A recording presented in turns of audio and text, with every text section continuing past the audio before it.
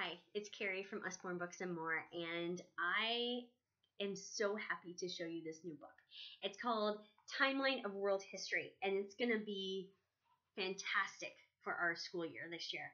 Okay, so first I'm just going to start off with the contents, the table of contents page, just to show you how it's broken up. Right, so we go to the first page. And it starts at the ancient world. It's going to start at the beginning. Now, there is no mention in here at the very beginning of the Big Bang versus creation. It just says, it just starts with years. Okay? So, um, these very first ones, I'll just let you read it. So I'm seeing 35,000, 18,000, 10,000. 6,000, 9,000 to 5, 5,000, and 15,000. Okay. And so what this book does is it talks about during this time between 10,000 and 2000 BC what was happening all over the world in Europe, the Middle East, Africa, Asia, and the Americas. And it goes through giving maps giving images of cool things. We've got some hieroglyphics here. We've got the Indus Valley Civilization.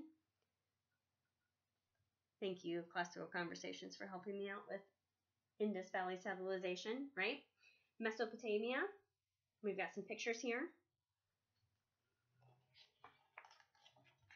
The next page starts in with 2000 to 1000 BC. There's the Mycenaeans, Babylonians, and Assyrians. All right, we've got lots of things there.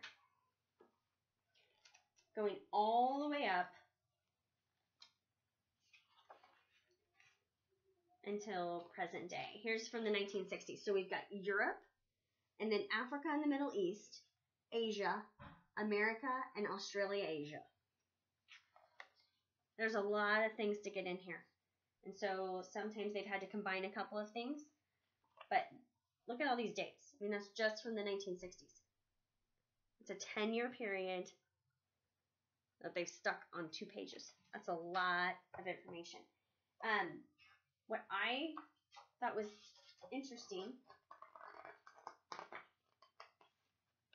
Okay, so they also have a list back here of the prime ministers and presidents of Great Britain. You've got the presidents of the U.S.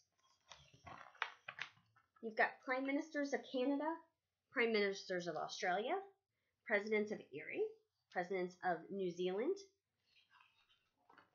kings and queens, kings and queens of England, Scotland, United Kingdom, Scotland, Frankish kingdoms, kings of France, emperors of Germany and the Holy Roman Empire. Austria, rulers of Germany. Look at that. There's just a lot. It goes through tons. Um, Portugal, Italy, Spain, Russia. It also gives you the chance to go check out the Usborne links, which are going to provide you with additional information on all of these topics. This index is very small. It's also 11 pages long. That's awesome. That's fantastic news for those of us who are looking for a very specific item in all of this and we just can't remember which year it happened or maybe even which century it happened. We can go in there, find that the person or the time the the event that happened, look it up, find the page, and you're done. It's fantastic. This is going to be a game changer in our homeschooling curriculum. I hope it is in yours too.